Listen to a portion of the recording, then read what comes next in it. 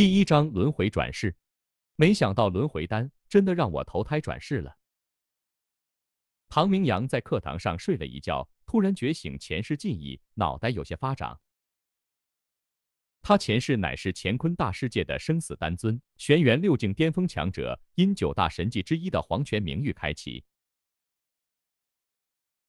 他机缘巧合在明帝遗府的丹炉里得到一颗传说中的轮回丹，被那些老不死发现追杀，被迫无奈吞服轮回丹，冰结转世。没想到，真的让他成功投胎转世了。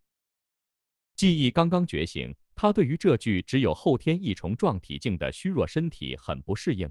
好在周围没有危险，他一边慢慢适应身体，一边梳理两世交融时有些杂乱的记忆。同时细细的打量着周围的环境。这是一间六十平方米左右的半圆形教室，明媚的晨光从四扇拱形落地窗穿梭而来，但金色的光晕柔柔洒落在三十多位全神贯注听讲的男女学生身上，他们的气息都很微弱。忽然间，一股冷意袭来，娇喝声响起：“唐明阳。”你若觉得我讲的炼丹知识都懂，那就请你离开我的教室，要睡觉回宿舍睡去。刘雪飞冷眼看着睡觉醒后东张西望的唐明阳，他不想重申课堂纪律，炼丹知识是神圣的，他最讨厌来他课堂却不用心听讲的学生了。更何况这唐明阳就是他教学的污点，纨绔无能，不学无术。若非靠着他是唐王府世子的身份，哪里进得了丹武学府？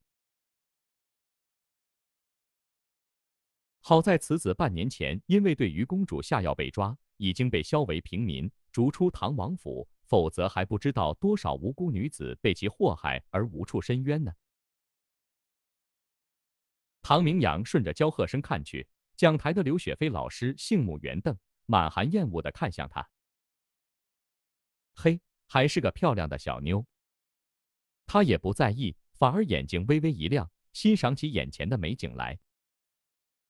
这刘雪飞老师肌肤如雪，容颜绝美，俏脸寒霜间更有一番冰玫瑰的冷艳。她身材更火辣，宽松的药师长袍也掩盖不住她的前凸后翘，反而在宽松下勾勒出的身体曲线更迷人和销魂。教室太吵了。离开，找个安静的地方修炼也好。武道先分后天三境和先天三境，之上还有玄元六境。后天三境：壮体、养气、通脉；先天三境：灵府、化元、服众。根据这一世的记忆，他投胎在天武大陆这地方，天地灵气稀薄，武道和丹道都走向没落，先天修为在这里已经算是强者了。不过，在任何地方，实力都是安身立命之本。这刘雪飞老师让他离开教室，也正合他的心意。他不慌不忙站起身来，离开座位，朝着讲台左侧的教室门口走去。花，教室等待看好戏的同学也被唐明阳这个出人意料的举动给惊愣住了。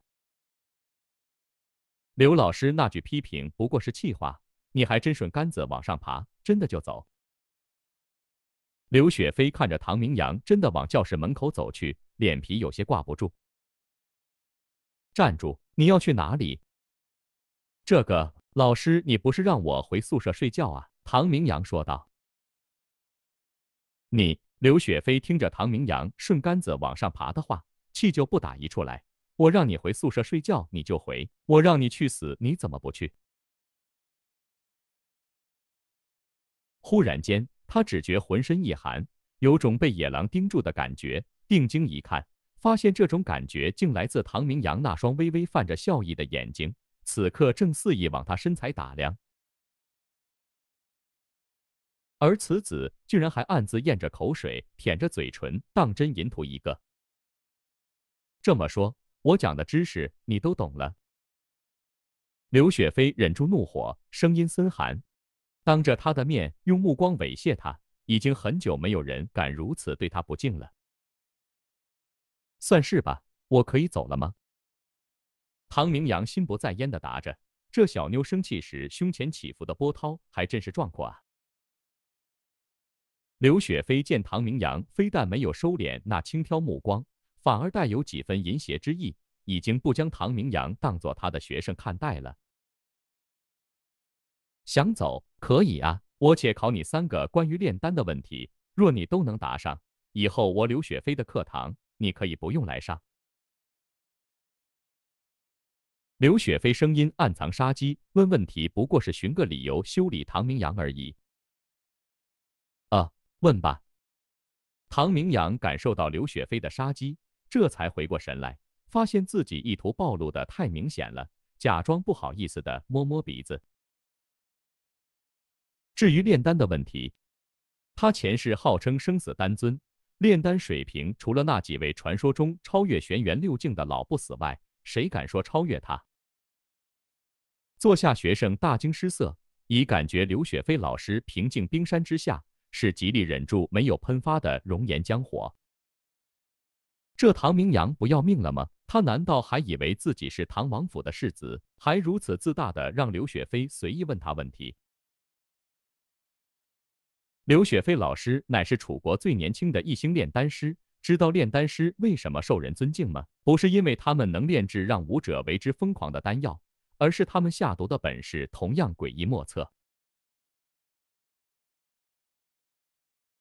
得罪炼丹师，你都不知道在什么时候就被对方给阴了。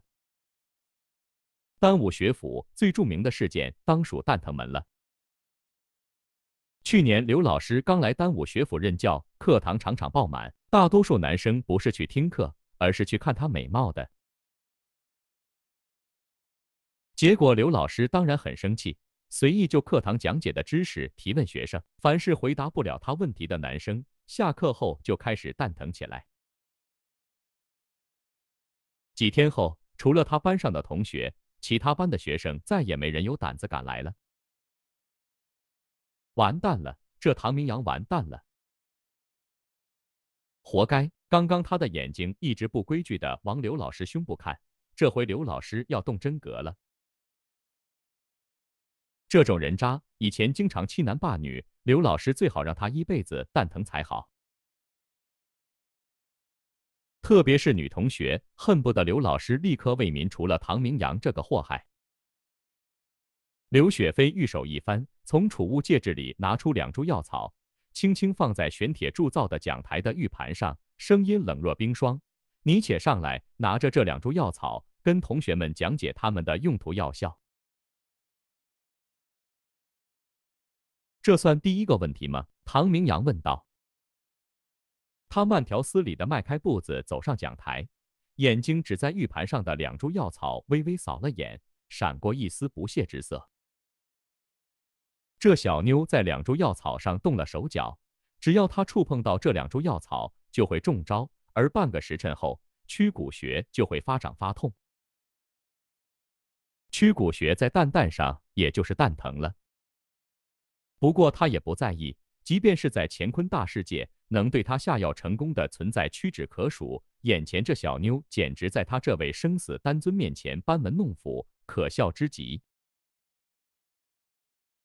没错，这两株药草我曾在课堂上讲解过，不算超出我的教学范围。刘雪飞见唐明阳走上讲台，厌恶的往边上退后几步，仿佛唐明阳就是肮脏的东西。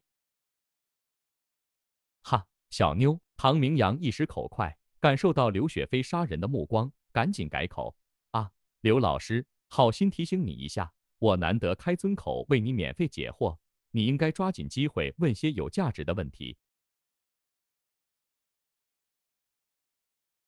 他刚刚觉醒记忆，习惯了前世的前辈高人口吻。要知道，在乾坤大世界，多少八星。九星炼丹师怀揣重宝，跪求他解惑而不得呢。小小妞，刘雪飞气得娇躯直颤抖，波涛又一番汹涌。可发现唐明阳贪婪的目光后，本能的抱臂护胸，气死他了。唐明阳作为他的学生，被削为平民逐出唐王府后，这半年来规矩很多。再加上唐明阳死去的父亲和他父亲有很深的交情。看着这些情谊上，他虽然对唐明阳厌恶，但总抱有几分引导他的心思。没想到此子劣根难改，这等淫徒学生还教什么教？这两株药草下的药还是轻了，我若不让你蛋疼半年，我就不叫刘雪飞。坐下学生听到“小妞”二字，也是瞪直了眼。刘老师是要冰山爆发了，可为什么唐明阳仍旧云淡风轻的样子？难道他不害怕吗？还是以为刘老师不敢拿他怎么样？你还是开尊口，说说这两株药草的用途吧。”刘雪飞冷冷的说着。好心提醒，这小妞不识泰山，唐明阳也不勉强。他随拿起玉盘的一株药草，在同学们看好戏的目光注视下，淡淡的说道：“这株叫做龙牙草。”他话语刚落，坐下同学集体哄笑起来。状如蛇尾，细叶如蛇鳞，这分明是蛇尾草吗？哈哈，看他如此淡定，我还以为他会呢。第一个问题都答不上，他完蛋了。有的学生翻着书本，对照着念出蛇尾草的形态和用途。坐在前排靠近唐明阳的那位男生，已经将蛇尾草的插图竖起来，让唐明阳看清楚些。那插图里画的几乎和唐明阳手里拿着的这株药草一模一样。都给我闭嘴！唯有站在唐明阳旁边的刘雪飞笑不出来。他拿出的是蛇尾草，可说成龙牙草更准确。蒙的，一定是蒙的。他目光冷冷的盯着唐明阳，一字一顿问道：“你怎么辨认得出它是龙牙草？”此话一出，教室里的哄笑声戛然而止，纷纷露出不可思议之色，看向唐明阳。还还真是龙牙草。第二章冷门炼丹知识，全场鸦雀无声，真落可闻。特别是那位拿着插图嘲笑唐明阳的男生，笑容尴尬的凝固在空气里，脸儿像是被人扇了几巴掌，火辣辣的。好在唐明阳也没有在意他，举起龙牙草，淡淡解释道：“同学们都以为它是蛇尾草，其实也没有错。不过十年以上火候的蛇尾草已经算得上低级灵草。”具有癸水阴性，可以中和很多烈性的药材，时常在低级丹药的配置里用到，故而炼丹师们喜欢将它和蛇尾草区分出来，叫其龙牙草。至于怎么辨认，倒是很简单。唐明阳将手中的龙牙草轻轻一捋，其茎叶收拢起来，在早晨金色的阳光下微微泛着灵光，还真像一颗长长的青色牙齿。他将手轻轻地抖了抖，说道：“轻轻抖一抖，如果它的茎叶松开，皮软下来，证明火候不够，蛇尾成不了龙牙。”坐下学生听了唐明阳简单明了的讲解，都似懂非懂的点点头，同时看向刘雪飞，目光带着求证之意。刘雪飞还有些意外，原来龙牙草和蛇尾草间。还有如此简单的辨认方法呀！他也很受教的点点头。要知道，他要辨认两者的药灵，还需要用药针测其药性呢。不过，当他看到学生们向他求证的目光时，很快发现不对劲。他明明要给这混蛋颜色看看，怎么也跟着点头受教起来？况且他说的癸水阴性是什么意思？真的是中和烈性药材吗？他只知道在炼制增气散、配气丹、通脉丹时需要放入少量的龙牙草。至于为什么要放，反正丹方都是这么写的，他根本没有往这方面想过啊。老师，癸水阴性是什么意思？当场就有敏而好学的同学开口询问。这，刘雪飞愣在当场，可在同学们求知欲的目光下，他又不能不作答。否则，连唐明阳都知道的炼丹知识，而他作为老师却不知道，岂不是很打脸？忽然间，他瞥见唐明阳嘴角微微勾起的笑容，似乎在嘲讽，顿时气就不打一处来。可恶的混蛋！唐明阳，你就和同学们好好解释什么是癸水阴性吧！刘雪飞怒喝，正好用火气来掩饰他无法回答问题的心虚，同时也能巧妙将问题踢给唐明阳回答。老师，这算第二个问题吗？唐明阳似笑非笑的问道。怎么，不知在哪本丹经里凑巧看到些偏门知识，就想来卖弄？刘雪飞冷笑。没错，没错，炼丹知识浩如烟海，有些偏冷的知识他不懂也很正常，有什么好心虚的？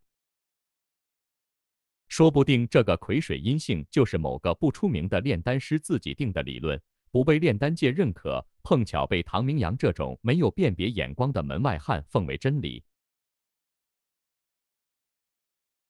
没错，就是这种可能。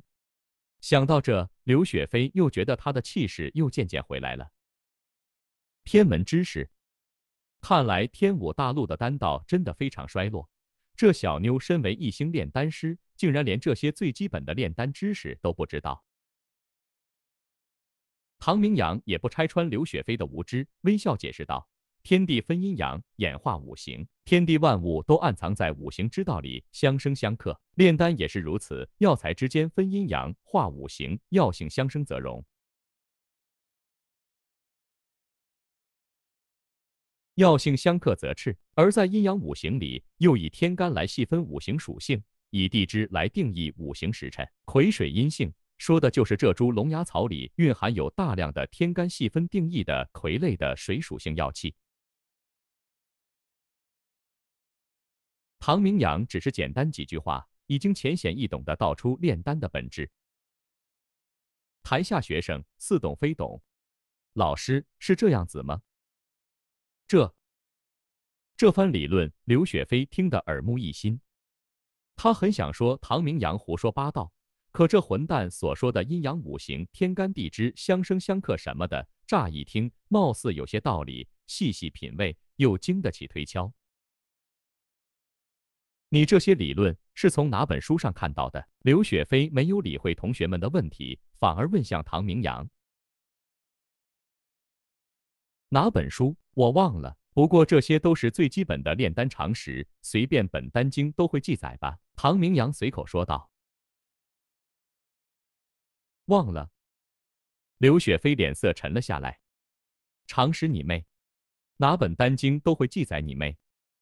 他堂堂的一星炼丹师，从未听过这些。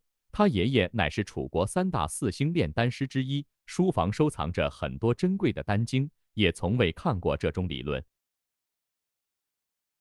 故意不说是吧？故意捡这些不知从哪个旮旯找出来的，他从未听过的炼丹理论，让他在学生面前难堪，在学生面前下不了台是吧？好你个唐明阳！唐明阳瞥了眼刘雪飞，这小妞粉脸含煞，咬牙切齿。不过美人生气也是另一番风情。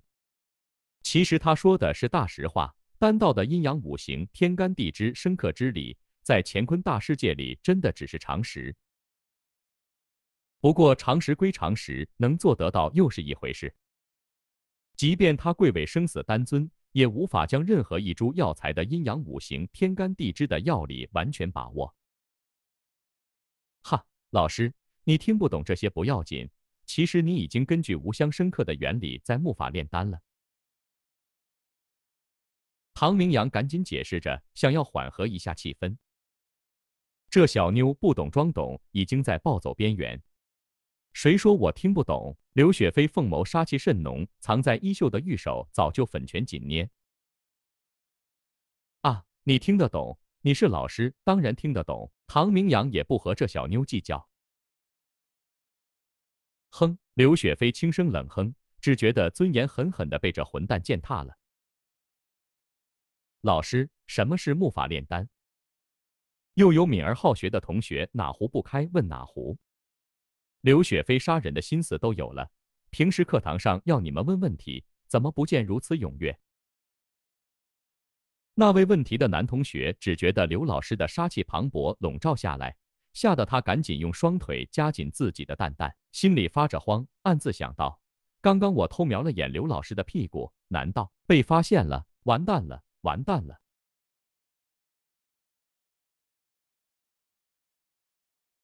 教室在刘雪飞杀人目光下安静下来。不过大家都以为是刘老师问题难不住唐明阳这混蛋，火气越来越大呢。你倒是和这位同学解释一下，什么是木法炼丹，又怎么看得出我用了木法炼丹？刘雪飞恨恨看向唐明阳，他却没有发现他此时的心态除了恨痒痒外，更多了一层求知之意，因为他也很想听听什么是木法炼丹。唐明阳也不拆台，拿起手里的另外一株药材，继续讲解道。这株狮尾草蕴含丰富的葵木之气，同属于天干属性。按照五行之理，水能生木，故而龙牙草和狮尾草放在一起，它们散发的药气交融在一起，就会起药性反应，又称作木法效应。这就是最简单的木法炼丹。这就是木法炼丹，老师是这样子吗？唐明阳尽量讲的很简单直白，可木法炼丹对于从未接触过的学生来说，还是极具颠覆性的理论。两株药草放在一起就是炼丹，骗谁呀？当场就有很多学生皱起眉头，表示怀疑。即便是身为一星炼丹师的刘雪飞，也不相信这荒谬的木法炼丹理论，冷冷的质疑道：“唐明阳。”你莫非当大家是傻子？丹药在哪里？你若不说出个一二三，就凭你目无师长、咆哮课堂之罪，看我怎么收拾你！刘雪飞恨声说着，这混蛋连续说这些他听不懂的炼丹知识，让他很受挫。同学们向他求证，他又回答不出，不仅没面子，好像他每一次回答不出，自尊心都被唐明阳这混蛋很好践踏一次这般。连刘老师都质疑唐明阳，台下的同学更加不客气的大声质问起来。是啊，唐明阳，丹药在哪里？两株药草放在一起就是炼丹，那谁不会？是头猪都能成为炼丹师了。唐明阳依旧不以为意，用手轻轻摸了摸自己的肚子，笑道：“丹药吗？其实在我肚子里。”此言一出，整间教室再次哄堂大笑起来。丹药在你肚子里，唐明阳，我看你牛皮越吹越大了吧？你什么时候吃了丹药，还木法炼丹呢？说的煞有其事，差点被你小子给骗了。刘老师，此人咆哮课堂，目无师长，你要狠狠治他罪才行。嘲笑的最大声的，要数坐在前排那位刚刚拿着插图指蛇尾草给唐明阳看的男生。然而，乱哄哄的课堂上，唯有一人没笑，那就是刘雪飞。他非但没有笑，反而表情非常的严肃，因为他想到那个丹方，隐约觉得唐明阳说的可能是真的。他原先想要给唐明阳教训，故而拿出来考核的龙牙草和狮尾草。本身就是一个陷阱。这两株药草上被他涂上了地罗花的花叶，三者放在一起会产生一种神奇的效果。如果男生大量吸入，能起到通经活脉之效。不过却有一个副作用，那就是蛋疼一段时间。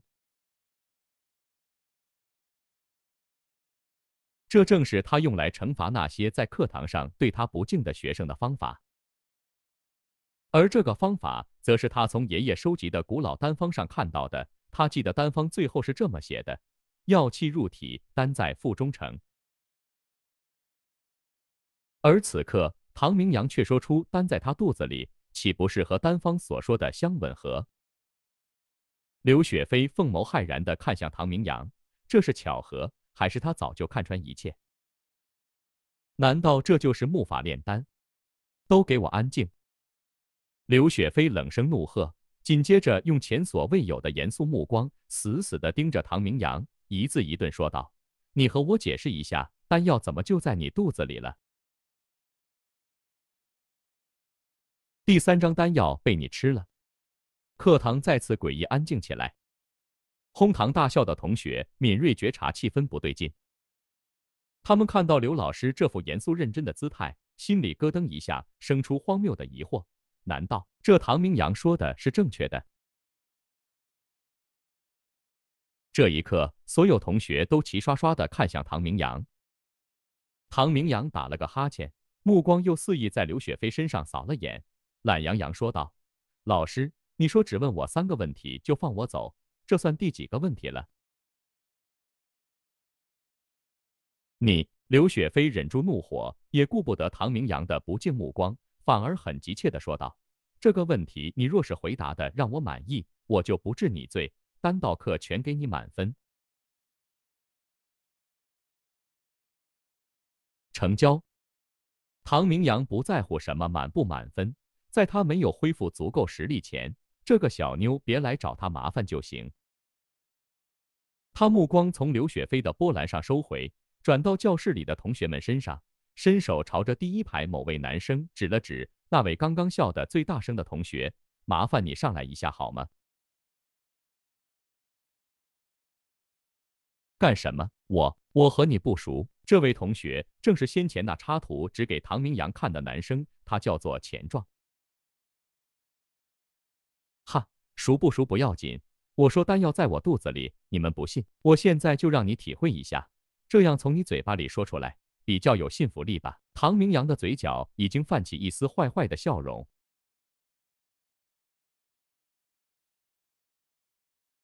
钱壮无法拒绝，只好忐忑不安地走上讲台。唐明阳将手中的龙牙草和狮尾草合在一起，放在鼻子处，很享受地深吸一口气，然后递给钱壮，说道。像我刚刚那样深吸一口气，这若是丹药真在肚子里，该该不会有什么害处吧？钱壮犹豫着一下子，没有立刻伸手去接。哈，龙牙草、狮尾草都是炼制壮体丹、通脉丹的常用药材，就算刘老师在上面偷偷涂了地罗花的花叶，可的罗花也是对人体有益的药材。刘老师。我说的没错吧？唐明阳微笑看向刘雪飞，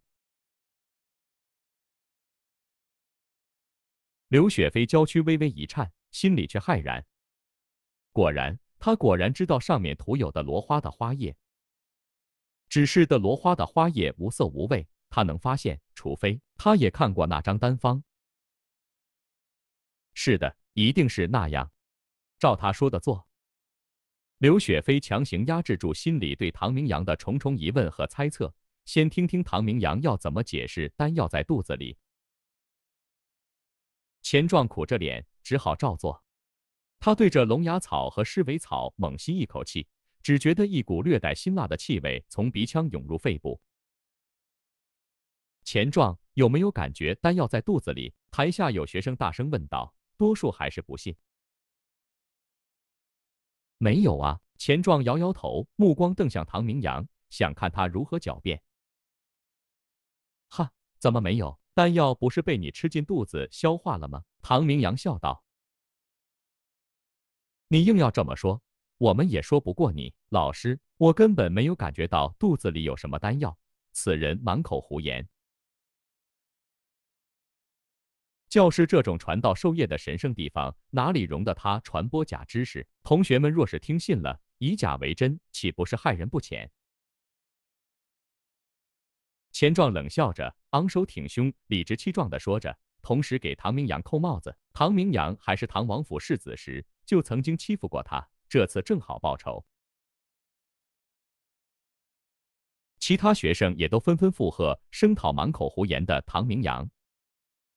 刘雪飞这会儿一直在安静观察唐明阳，他忽然发现唐明阳无论是面对他的气场威压，还是面对同学们的质疑，此子至始至终都云淡风轻，处变不惊。这哪里是不学无术的纨绔子弟该有风度？面对满堂的质疑，唐明阳淡淡的说道：“要解释丹药怎么被你吃进肚子里。”这又要牵扯更高深的丹道与人体学的知识了。然而，同学们对他的质疑都带着主观色彩，也不知道谁开的头。很快质疑声就变成对他过往劣迹恶行的揭发批判大会。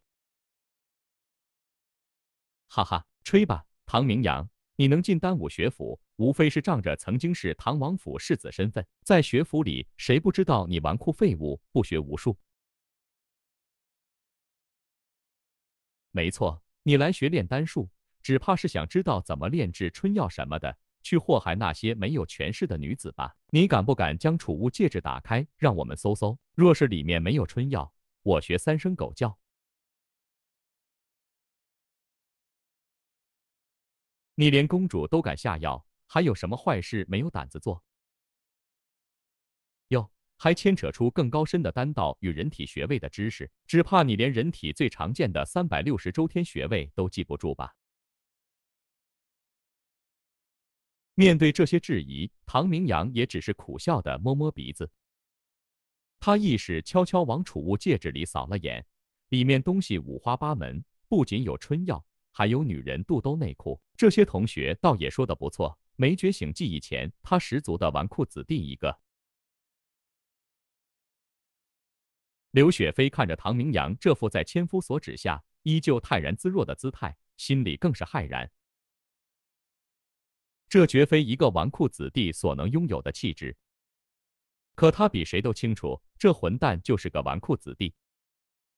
安静，都给我闭嘴！课堂之上只讨论学问。刘雪飞冷声喝着，只能先将这些疑团压制住，以后再调查。他再次问道：“唐明阳。”你倒是说说，怎么就牵扯出高深的丹道和人体穴位知识了？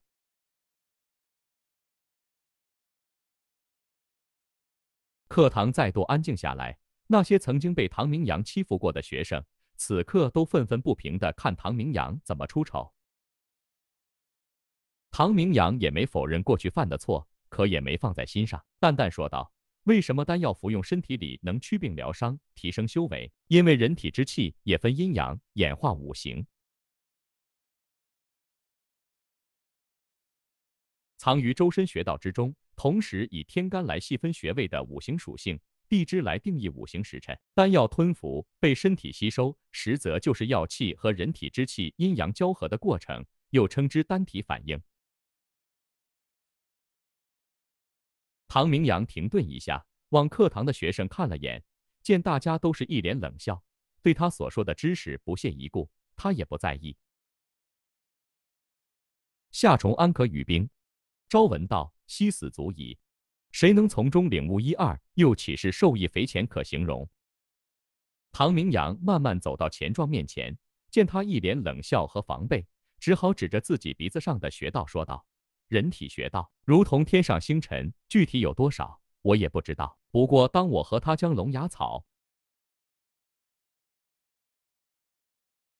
狮尾草和地罗花交融的药气通过鼻腔吸入肺部时，药气所经过的穴位将这些药气吸收，自然会产生丹体反应。我所说的丹药在肚子里并被消化，实则所说的丹是气丹。原来如此。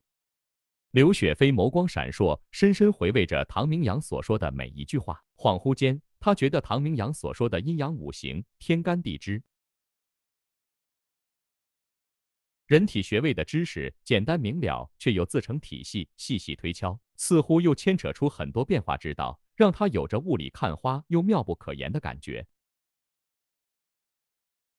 还气丹，还丹体反应，那你倒要让我吞服的气丹有药效反应啊！钱壮见唐明阳说的煞有其事的样子，又带头开始嘲讽起来。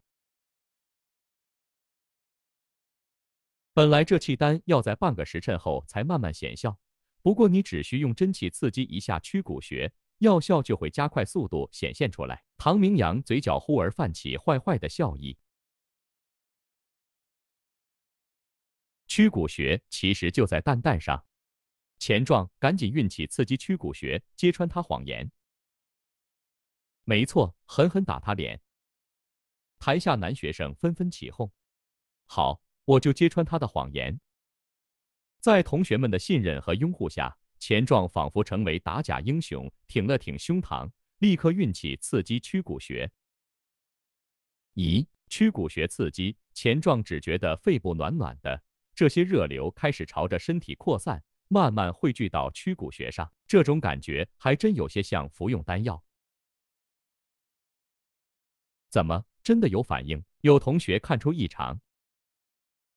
这个没有。钱壮想要唐明阳出丑，矢口否认。然而他很快发现不对劲，从肺部汇聚的暖流越来越多，他的曲骨穴似乎装不下，开始隐隐发痛。很快，痛苦感越来越大，到了他承受不住的程度。哎呦，痛死我了！我的蛋蛋，蛋蛋好痛！没过坚持多久，忍受不住的钱壮捂着裤裆喊蛋疼了。坐下同学皆是大惊，钱壮这副模样，怎么和被那些被刘老师惩罚的学生那么像？唐明阳，是不是你搞的鬼？钱壮大怒，可看过去，讲台上哪里还有唐明阳的影子？他只能向刘雪飞求救啊！老师，救救我，我蛋疼！刘雪飞觉得自己似乎陷入某种顿悟里，被钱壮碰了一下，惊醒过来，心情很是不爽，蛋疼就割下来。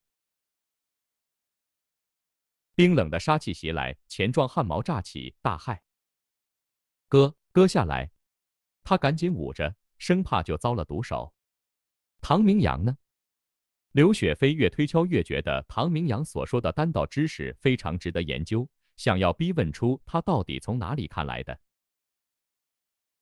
他离开教室了，有学生指着门口说道：“好大胆啊！没有我同意，谁敢擅自立刻我课堂？”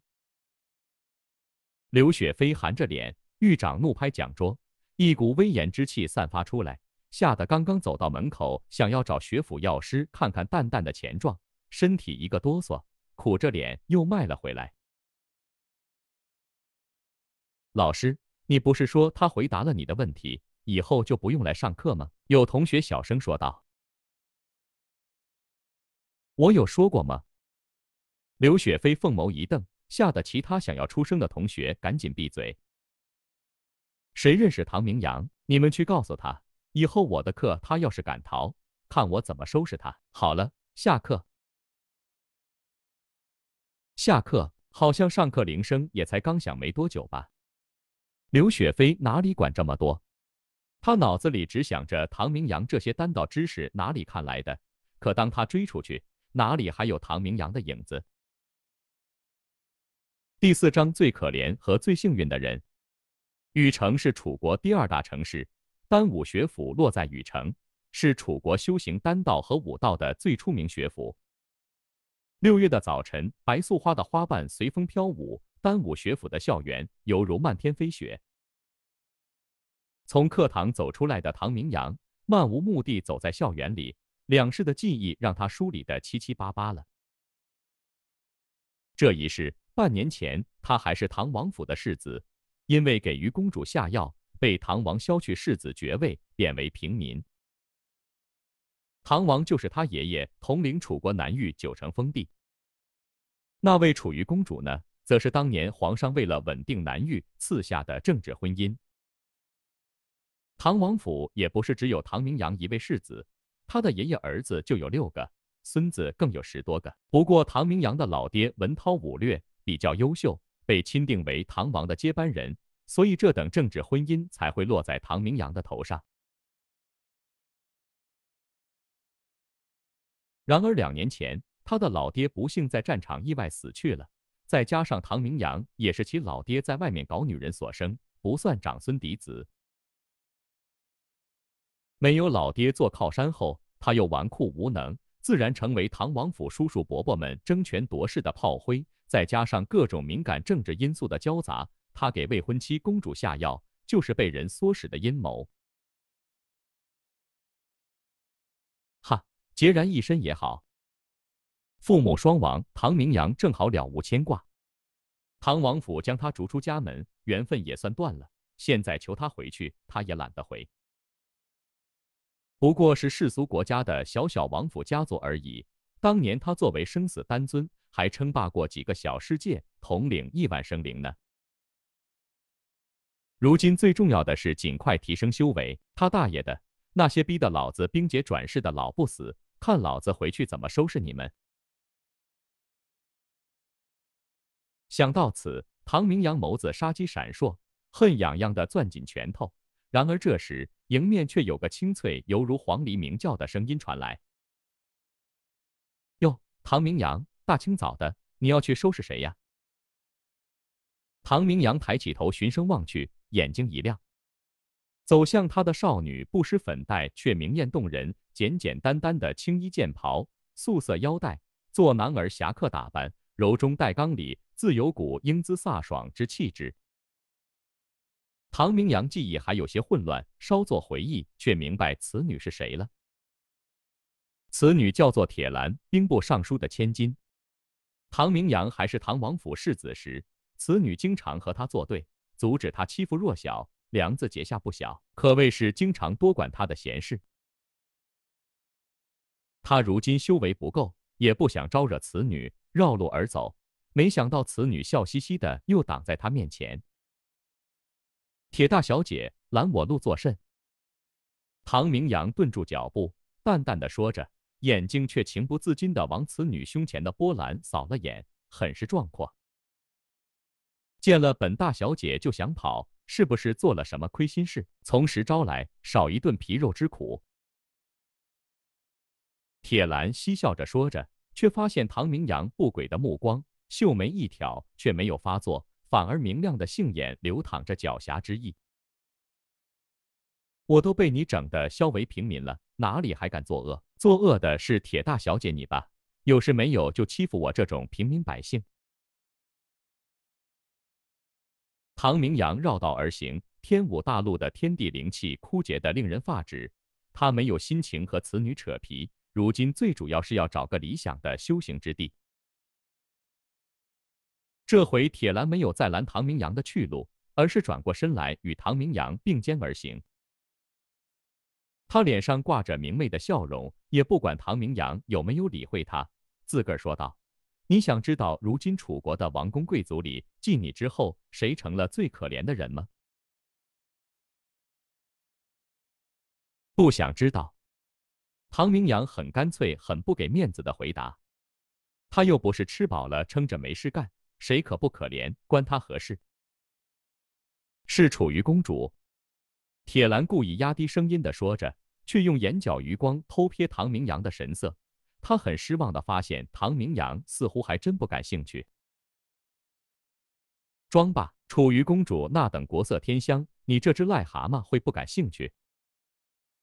他继续说道：“北疆战事紧张，楚军连连吃败仗。”皇宫大臣们也是被打怕了，就想着政治联姻、割地求和。半个月前，皇上已经下令要将楚瑜公主嫁给大宛国的大皇子。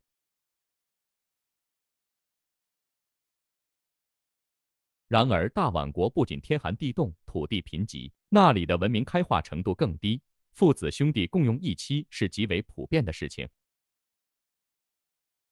女人只是生孩子的工具，即便是贵为皇子妃也是如此。楚瑜公主要嫁到那种地方，你说可不可怜？唐明阳没有搭腔，那楚瑜可不可怜，关他什么鸟事？喂，我和你说话，你哑巴了不成？铁兰见唐明阳没有搭理他，心里有些恼火。哦，我一介小民，对国家大事不感兴趣哦，铁大小姐。你若没有什么事，那就请吧。唐明阳一副你很烦的模样，铁兰暗怒。可恶，这混蛋刚刚还色迷迷的偷看他胸部，楚瑜公主比他还要貌美三分，他会不感兴趣？且忍着，先将楚瑜公主的事情办好，再教训这混蛋。唐明阳。你想知道如今楚国王公贵族里谁成了最幸运的人吗？铁兰又问道。不想知道。是你，是我，没错。三天前，楚瑜公主对外宣布，她和你有婚约在身，女子三从四德，从一而终，不可一嫁再嫁。你说，她那样国色天香的大美人要嫁给你，你是不是全天下最幸运的人？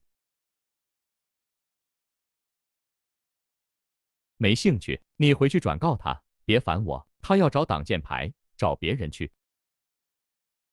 唐明阳想也不用想，直接拒绝，心里冷然一片。这铁兰缠着他，果然是黄鼠狼给鸡拜年，没安好心，绕来绕去说了这么多，此刻终于露出狐狸尾巴了。全天下最幸运人，只怕他答应下来，立刻成为全天下最倒霉的人。啊！铁兰脸上的笑容忽而凝住，十分诧异的看向唐明阳，此人纨绔废物，好色无脑，今儿怎的看得如此透彻？他也不再拐弯抹角，甚至言语间还有几分威胁之意，说道：“唐明阳，士别三日，没想到你变聪明了。不过嘛，这件事你不答应也得答应。公主说了，半年前你对她下药，身子早就被你看光，不再冰清玉洁。你说公主若真要嫁到大宛国去，皇上定然要封锁这个消息，会放过你吗？你唯有好好配合公主演这出戏。”这才有一条生路。唐明阳闻言，眸子不经意间寒芒闪烁，还真如同铁兰所说的那样，公主若真拿他当挡箭牌，不管他答不答应，皇帝第一个要杀的就是他。本以为能够找个安静的地面，慢慢恢复前世的修为，没想到麻烦竟然来得如此之快。然而，只需给他几个月的时间，他有信心将修为恢复到先天。到时候，管你什么皇帝不皇帝，招惹他，直接捏死。暂且忍着，看看有什么拖延时间计策。哦，公主敢于违抗皇帝命令，她有什么底牌？唐明阳问道。铁兰闻言，眸子里再次露出讶异之色，没想到唐明阳竟然还看得透公主背后有人撑腰。犹豫一下，还是说道：“告诉你也无妨。给公主撑腰的是紫莲大师，他是公主的师傅。”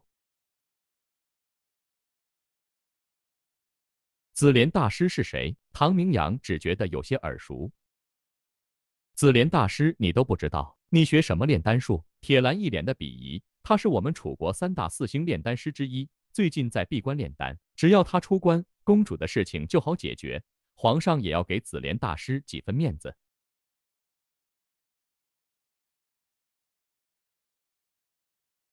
炼丹师地位尊贵，即便在乾坤大世界也是如此。四星炼丹师在楚国已经相当于国师级别存在了。公主有这个靠山，难怪有胆子敢拒婚。紫莲大师什么时候出关？唐明阳问着，心里却在算计。公主闹拒婚，皇帝老儿没有第一时间捏死她，只怕是看在紫莲大师面子上，也在犹豫。而他呢，身处在夹缝中，除了是公主对外的挡箭牌外，还是皇帝老儿的遮羞布。一旦紫莲大师坚持护着公主，皇帝老儿也好顺理成章承认婚事，将唐明阳当作台阶下。当然了，如果紫莲大师不护着公主，那么皇帝老儿也没有什么好犹豫的，直接将公主送去联姻，而他当然是捏死了。少则一两个月，多则三五个月，最多不会超过半年。有紫莲大师护着，公主没事，你当然也没事，说不得你还会恢复世子身份，皇帝也招你做驸马呢。铁兰一直都在观察唐明阳的神态变化。可他骇然发现，当他描绘出恢复世子身份、皇帝招驸马这些美好前景时，唐明阳的神态至始至终都那副冷淡样子，似乎还有几分不屑。这么说，紫莲大师闭关的这段时间，皇帝是不会派人来捏死我的。唐明阳嘴角泛起一丝冷笑，一两个月的时间，他至少有自保的能力了。他的命运又岂能任由别人摆布，掌握在别人手里？啊，没错。铁兰点点头，他看着唐明阳嘴角那一抹冷笑，心里忽而生出一股荒谬的害怕之意。此刻唐明阳表露出的气质，哪里还有半点纨绔废物的样子？分明是一只善于算计的老狐狸嘛！错觉，一定是错觉。第五章阳谋苦肉计。铁兰轻轻摇了摇小脑袋，想要将脑子里的荒谬之感甩掉。唐明阳若真有那么聪明，那么当初又怎么会上当，做出对公主下药这等蠢事，以至于被逐出唐王府，变为平民？他纤纤玉手一翻，从储物戒指里拿出一张金卡，递给唐明阳，说道：“公主知道你缺钱，凭此金卡，可在皇家钱庄里提取十万两白银。”唐明阳也不客气，直接收下。普通百姓的年收入只有百来两白银，这算一笔巨款了。铁兰继续说道：“这些钱可不是给你乱花的，你拿它到城里买一栋府宅，半个多月后，公主会逃出皇宫，过来和你同居，以做戏给天下人看。”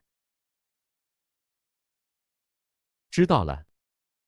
唐明阳心里冷笑：公主想拖延时间。等紫莲大师出关为其做主，他何尝不是想拖延时间，恢复修为？记住，这段敏感的时期，你最好规矩点。若是你惹出什么祸端，坏了公主的事情，我敢保证你会死得很惨。好了，我都记住了。你若没事，赶紧回去跟公主复命吧。唐明阳不耐烦的摆摆手。丹武学府的宿舍不适合修炼，他如今也要找一个修炼之所。其次是购买壮体的药材，配置丹药提升修为。你，铁兰看唐明阳这副样子，心里就有气，杏眼一瞪，没有发作。忍着，看以后怎么收拾你。他拂袖转身离去。丹武学府门口的街道前方，人群中的少女忽而一阵骚动。频频朝着某个方向暗送秋波。原来是有位衣着华贵的青年，骑着汗血宝马，不仅高大帅气，修为更是不凡。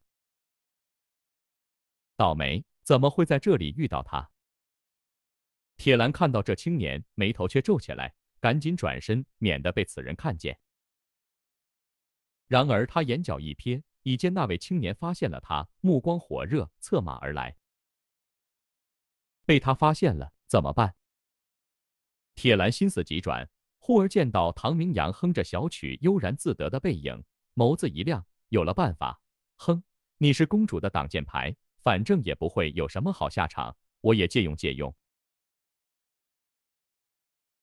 他快步追上去，喊道：“唐明阳，帮我一个忙！”不帮。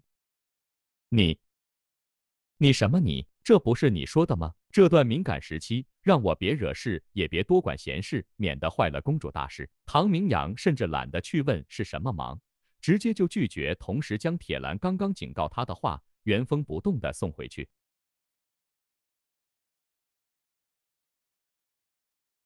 你这混蛋！铁兰气就不打一处来。她虽然不像楚瑜公主那样国色天香，但也是个大美人。她若说需要帮忙，不知多少王公贵族的公子哥们争破头抢着来呢。这混蛋不仅毫无风度可言，竟然还哪敢教训他。你不帮也要帮。气昏头的铁兰也顾不得许多，仿佛赌气报复般上前一步，玉臂伸出，轻轻地搂住唐明阳的一只手臂，俏脸轻轻靠在唐明阳的肩膀，故意做出亲昵姿态。刹那间，唐明阳立刻感受到一股阴冷的杀意从身后袭来。他顿足转身，目光顺着杀意望去，远处汗血宝马的青年，印堂寒煞，显然是那种睚眦必报的阴险狠辣之辈。你，唐明阳瞬间明白是怎么回事了。铁兰此女竟然拿他当挡箭牌，他如何肯做这冤大头？他试着将手拔出来。竟发现这女人还搂着够紧的。他是青狼帮帮主的儿子青灵风，心狠手辣之辈，只是缠着我实在太烦了。你假装我男朋友，别说话，站在我身边就行，免得激怒他。其他事情由我来应付。铁兰见唐明阳生气，心里反而很高兴。哼，你这混蛋，刚刚敢那样对我，现在不给你点苦头吃？哪里显得出我铁兰的手段？他还故意微笑着，说话时还将嘴巴贴近唐明阳的耳朵旁，外人看来还以为他们是热恋的情侣般。青狼帮，楚国十大帮派之一，属于武林势力，帮派成员几万，分堂遍布全国各个城市。对于武林势力，只要不造反，楚国都采取宽松的监管政策。甚至对于武林恩怨和纷争，只要不闹得太过火，一般也都睁一只眼闭一只眼。唐明阳怒道：“哼，只是缠着你有些烦而已，你就拉我下水？你自知他心狠手辣，就不怕背地里他将我宰了？刚刚谁跟我说这说那？别惹麻烦，别坏公主大事。现在是谁给我惹麻烦了？”谁坏公主大事？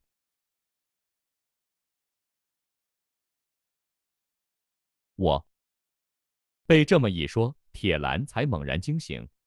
是啊，以青灵风的狠辣个性，还真做得出这种事情。要是唐明阳死了，坏了公主的大事，如何是好？他叫青灵风，青狼帮帮主的儿子。你，你有什么办法？铁兰也知道玩过火了，他才想起青灵风属于武林中人，心狠手辣，怒极杀人，恶贯满盈。唐明阳所犯的那些欺男霸女行为，若是和青灵风比起来，简直是小孩子的过家家玩意。他和你什么关系？唐明阳问道。在没有实力自保前，麻烦能少则少。不过他也不怕麻烦，青灵风若敢对他动手。那么他也不怕，打目前是打不过。不过若论下毒本事，他有一百种方法让这青灵风乃至青狼帮无声无息的毒发身亡。他爹和我爹有些交情，仅此而已。他追求我，烦不胜烦。若真只是这层关系，我倒有办法，既让他不敢找我麻烦，以后还不敢烦你。不过嘛，这个办法就是让你受些委屈。真的，只要能让这混蛋不纠缠我，再大的委屈，我铁兰也能承受。铁兰眼睛一亮，当然是真的。不过这可是一出苦肉戏，你需要受些皮肉之苦。些许皮肉之苦，我还是能承受。我保证打不还手，骂不还口。不过你的计策到底是什么？眼看策马而来的青灵风已经到二十多米开外了。铁兰更是焦急起来。好，这可是你说的，打不还手，骂不还口。办法很简单，此人之所以缠着你不放，无非是因为你大家闺秀，还长得美丽，对他十分有吸引力。如果你颠覆这些形象，变成他厌恶的样子，他自然不再会缠着你。唐明阳低声将他的计划说出，眸子深处闪过一抹戏谑。那到底怎么颠覆我的形象？铁兰一听，有道理啊，期待起来。你配合我演这出苦肉戏，你的身份是我的女人，背着我在外偷汉子，怀了孕，被我抓住当街质问。记住了，只能我打你，你不能还手。我骂你贱人，你也要贱贱的跪着求我。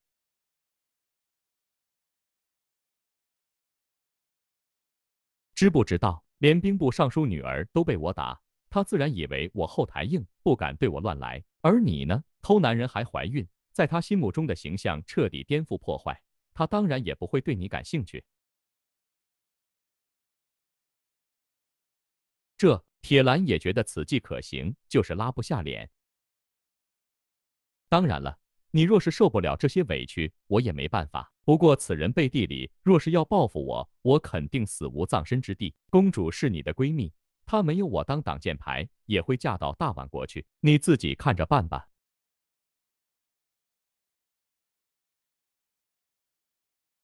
唐明阳再添一把火，并不着急。这是阳谋，不怕铁兰不上当。哼，敢拿他当挡箭牌，敢和楚瑜那小妞算计他。看他怎么教训教训他。好，我答应你。不过你的计策若不奏效，看我怎么收拾你。果然，铁兰衡量厉害，银牙一咬，答应下来。那我开始了。唐明阳话音落下，巴掌直接朝着铁兰羞红的俏脸扇去。铁兰先天一重灵府境修为，想要躲过，轻而易举。可此刻只是暗中运转先天真气护脸，不躲不闪。啪一声扇耳光的脆响，贱人口口声声说爱我，却背着我在外面偷汉子，说你肚子里的孩子是谁的？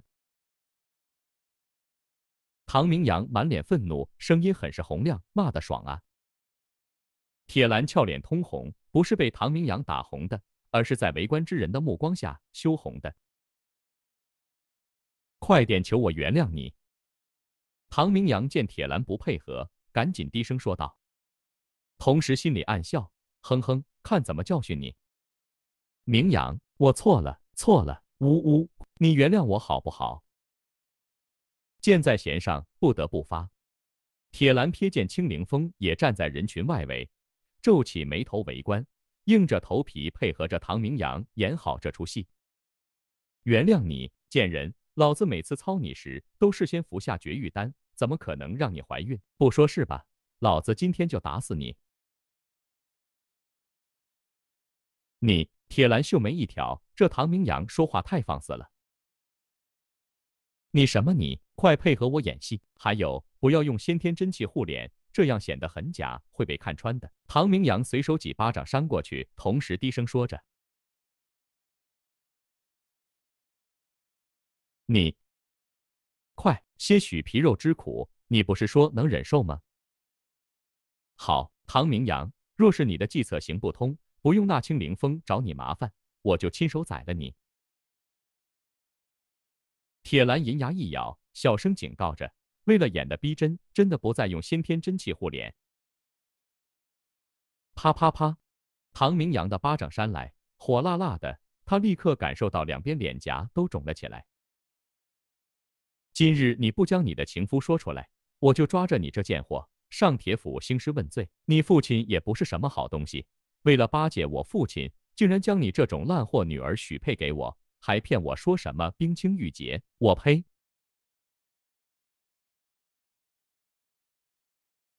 唐明阳骂得爽，打得更爽。哼，让你和楚瑜那妞联合算计我。明阳，我错了，我真的错了。铁兰流着眼泪，她的眼泪是痛出来的，可偏偏还要硬着头皮演下去。知错了，知错就将你的情夫说出来，老子要灭他全家！唐明阳越骂越嚣张，他前世生死丹尊，纵横乾坤，睥睨天地的气势，稍微泄露出几丝，还真能唬得住人。至少远处围观的青灵风就被唐明阳的气势所镇住了。此子修为不高，可好强大的气场。若非身处尊位，以指气使，断人生死，绝对养不出如此嚣张气场。他到底是谁？竟然当街将兵部尚书的女儿当母狗一样打。第六章跪下来，很嚣张。唐明阳一脚踹去，将毫无防备的铁兰踹倒在地，顺势骑到其肚子上，只觉得屁股之下那杨柳细腰。似乎稍微用力就坐断。你铁兰见唐明阳这混蛋竟然趁乱之下，那臭手要往他胸部里抓来，赶紧双手护胸，杏眼怒瞪。狗改不了吃屎，好啊，这混蛋色性不改，敢吃他豆腐了。贱人烂货还哭，信不信我把你衣服撕了，让大家都看看你脱光后的贱样。唐明阳奸计被看穿，怒扇几巴掌过去，只觉得屁股一阵巨力用来，他赶紧顺势起身，巧之又巧的躲过铁兰的警告暗击。喂，你这样会穿帮的！唐明阳一把抓住铁兰的头发，将其脑袋拉到自己的嘴巴前，借着凌乱头发的掩盖，偷偷低声说道：“你，你若敢不规矩！”休怪我事后剁了你双手！还有，快想办法让这青灵风走，难不成我一直被你打？铁兰心里暗恨，恨声警告。他也不傻，除了刚开始几下，后面都用先天真气暗自防御。好吧，你楚楚可怜的看向青灵风，让他来救你。唐明阳也知道戏不能演得太过火，打也打了，骂也骂了，他也算在这妞身上收了利息。你你让我叫他，放心吧，他已经被我镇住，不敢对我如何。我且吓一吓他，你看我怎么教训他。哼，你可别把自己给玩死了。两人的交流都很隐秘。唐明阳用力猛揪着铁兰乌黑凌厉的头发，铁兰痛苦惨叫着，似乎真的忍不住，突然看向人群中的青凌风，呼喊道：“青大哥，救我！救救我！呜呜，他要打死我！”啊！人群里骑在马背上的青凌风本就显眼，被铁兰指名道姓的这么一喊，他立刻成为焦点。这出丈夫抓奸的好戏，原来他就是主角啊！围观人群立刻用玩味的目光看向他。青凌风做梦都没想到，这时候的铁兰会叫他帮忙，他也愣住了。他是垂涎铁兰的美色很久了，还想通过铁兰来帮助青狼帮和朝廷巩固关系。若是平时，他定然挺身而出，英雄救美，博得铁兰的好感。可他此时却弄不透唐明阳的身份啊，哪里敢出手？青狼帮虽然是楚国的十大帮派之一，连皇权都要忌惮几分，可他却知道世间还有很多神秘可怕的势力，有些甚至要凌驾于皇权之上。而唐明阳敢于将铁兰当母狗一样当街殴打，他已经将唐明阳的身份怀疑成那些凌驾于皇权的势力上了。这铁兰有先天异重灵府境的修为，要反抗非常简单。他不是不还手，而是不敢还手吧？况且这贱人也不值得我出手。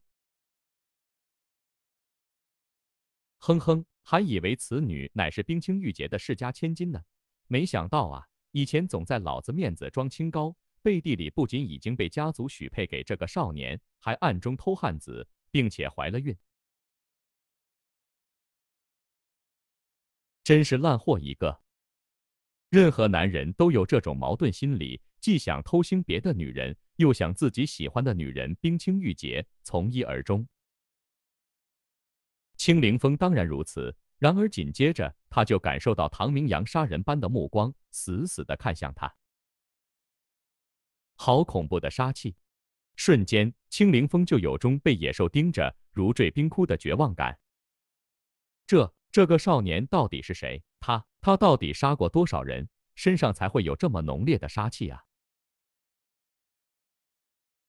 杀气是一种气势，是杀人时精气神沾染的血煞之气。没杀过人的人身上是不会有的。原来你就是这贱人的情夫，很好，将我女人的肚子搞大，你很有种。唐明阳声音森寒，将前世生死丹尊的气场凝聚，锁定向青凌风。没有实力作为后盾，任何人的气场都很虚，如同无根浮萍，只是表象。若是青凌风敢于反抗，那么唐明阳的气场很快就会破去。可此刻，他已经从青凌风的眸子里看到了此子内心的恐惧。这位兄弟，在下青狼帮的少帮主青凌风。我是认识铁兰，可我和他只是普通的相识。他他肚子里的孩子真的不是我的。青凌风滚鞍下马，想捏死铁兰的心都有了。他恨透这女人了，胡言乱语，竟然这时候拉她下水。甚至他就不应该来围观，应该躲得远远的。四周围观的人群听到“青狼帮”三个字，脸色齐齐一变。自动让开一条道路，连青狼帮的少帮主都对这个唐明阳畏惧有加。那些看不惯唐明阳嚣张、犹豫着想要英雄救美的人，此刻纷纷缩起头来，同时暗自为没有鲁莽出手而庆幸的捏把汗。这小贱人肚子里的孩子不是你的，那你这么紧张干什么？想骗老子？唐明阳得寸进尺，装腔作势的怒喝。真真不是我的，青凌风竟然急得手心都是冷汗。旁边的铁兰也是看傻了眼，没想到青凌风不仅被唬住，还被唐明阳的气势给吓破胆。然而他此刻的心情或青灵风有些类似，都骇然震惊于唐明阳恐怖的气势里。好强的杀气，就连上次来家里做客的那几位大将军叔叔都没有这么强大的杀气。他是怎么装出来的？小贱人，你肚子里的孩子是不是这小白脸的？只要你说实话，我不迁怒你们铁家。他，他不是孩子的父亲。贱人，你水性杨花，你的姘头不止一个，就算肚子里的孩子不是你的，他也是你情郎之一了。你，铁兰记还以为唐明阳见好就收，没想到唐明阳还得寸进尺。他的手心也在冒冷汗啊！在青灵风看不见时，他立刻用眼神质问唐明阳：“别弄得太过火，收不了场时，他们两人都没有好下场。”青灵风本想舒一口气，可见唐明阳竟然如此多疑，又紧张起来。天地良心啊！他也没想到铁兰是如此水性杨花的女人啊！最冤枉是，他还真没有上过这个贱人啊！兄弟，我和这贱人，你骂谁是贱人？当然是他，他。老子的女人再贱，那也只能老子骂老子打。你算什么东西？啊！青灵风没想到会是这样，跪下来！唐明阳冷声喝道：“你！”青灵风脸色一变，不跪可以，青狼帮是吧？你信不信？我只需一句话。过几天，你们青狼帮就从楚国彻底消失。这位兄台，我一时失言，向你道歉。青灵风不敢赌，唐明阳越嚣张，他越认为唐明阳有后台。最后一次机会，跪下来，或者青狼帮因你而灭。杨明，算算了吧，他和我真的没关系。铁兰看得心惊胆战。这唐明阳疯了吗？这出戏迟演的那么过火，早要被拆穿的。事后，青灵风肯定派人调查唐明阳的身份。刚刚吓唬住青灵风，就应该适可而止，不应该或青灵风有任何语言的接触。贱人，住口！你和他没关系，那你用得着处处护着他？唐明阳怒甩一巴掌过去，哼！这青灵风刚刚敢对他动杀意，他不好好教训一顿怎么行？他前世乃是纵横乾坤的生死丹尊，只是虎落平阳，小小的恶犬就敢来废他。至于以后青灵峰调查，就让他调查，反正就算没有青灵峰这档事，那楚瑜公主让他陷入危机里，他也打算改头换面，藏一段时间，恢复修为。等他再现身时，这青灵峰若敢烦他，连带着青狼帮也灭了。你铁兰捂着脸，想狠狠揍这混蛋一顿，又怕演戏被青灵风看穿。这位兄弟，青狼帮怎么也是楚国十大帮派，即便朝廷也不敢说灭就灭。不知道兄台高姓大名？青灵风问道。武林中人对于名声很是看重，让他当众下跪，这等屈辱，他如何肯承受？哈哈，楚国十大帮派，夏虫不可以语冰。你可知道，这天武大陆里有些势力，即便是楚国，那只需一句话，立刻可以改朝换代。唐明阳说的嚣张，天武大陆虽然武道和丹道都衰落，但任何一个地方都应该有这种势力吧？果然，青灵风闻言，脸色变得难看起来。像这种势力，普通人根本不知道。你，你难道？滚吧！给过你机会，自己寻死。过几日，你且看看青狼帮还存不存在楚国。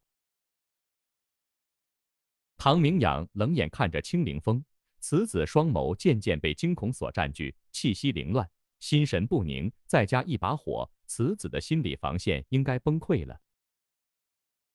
青大哥，你，你快走！这个人是个疯子。铁兰的本意是让青灵风赶紧走，好让这出戏赶紧结束。然而，铁兰的话正好成为压倒青灵风心理防线的最后一根稻草。疯子，是啊，只有疯子才会做得出这等疯狂的事情。他不过是说错一句话，此人不仅要杀了他，还要灭了他青狼帮。疯子，魔鬼，此子如此嗜杀，怪不得身上有如此强大的杀气。我，我错了。青灵峰膝盖一软，跪了下来。这一跪，他只觉得将青狼帮上下几万条性命都救活了。完了！铁兰见到这一幕，双腿也一软，瘫软在地。完大了！这青灵峰可是青狼帮的少帮主啊，武林里响当当的心狠手辣人物。事后若让青灵峰知道唐明阳根本就是在装逼，根本就是伪纨绔废物，他竟然被吓得跪下来，这……铁兰已经不敢想下去了。第七章，你完了。围观之人不乏武林人士。青灵峰身为青狼帮的少帮主，年仅二十二岁，修为就已经达到先天二重化元境初期，可谓是天资卓越，被誉为楚国武林四大公子之一，人称风少。大新闻，绝对劲爆的新闻！青灵峰这一跪。只怕明日立刻让整个楚国武林轰动。当然了，更多人猜测，这位让青灵峰下跪的少年，修为低微却杀气冲天，到底是什么身份？磕头，唐明阳冷声说道。青灵峰暗自捏紧着拳头，可又松了下来。他真的不敢赌。至始至终，这个神秘少年恐怖的杀气锁定着他，不身临其境。永远无法体会那种犹如死亡临近的恐怖感。他心里防线崩溃，这种死亡的逼压更是恐怖。砰砰砰！青灵峰用力的磕着头，唐明阳没有叫停，他不敢擅自停下来。他感觉自己的身体就像是一具不听使唤的行尸走肉，所有的尊严都被恐惧所占据，为了求生，拼命的忍受。你服不服气？服，服气。青灵峰身子顿了顿，身体不经意间绷紧。说谎，磕头时还敢用先天真气护体？是，是我错了，我不敢了。尊严已经丢了，青灵峰彻底失去反抗的意志。砰砰砰！没有先天真气护体后，很快地面上就磕出一个血印子。服不服气？服气，服气！青灵峰边用力的磕头，边回答着：“好了，滚吧。”是是，青灵峰如蒙大赦，爬起身来。站住！我让你滚，不是让你走。从这滚到南城门，我若发现你敢走一步，青狼帮也不用在楚国存在了。是是。于是，在所有人惊骇目光下。青灵峰躺在地上，慢慢的朝着南城门滚去。戏都看完了，你们还不滚？是不是有谁想要像那人一样不识抬举，要滚出南城门？唐明阳杀气四散，冷眼看向四周围观人群。人群大骇，吓得如同惊弓之鸟，立刻逃开。废话，连青狼帮少主都如此，此少年如此凶威，谁敢招惹？整个街道方圆几十米内全无一人。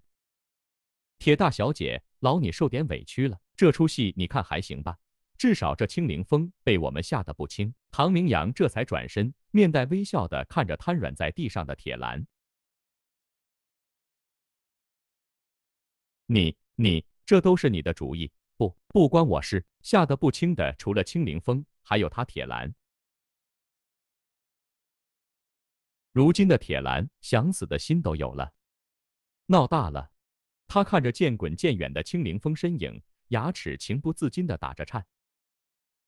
明天不不，或许下午这件事情就传进楚国各大势力的耳朵里。你唐明阳的身份瞒得住？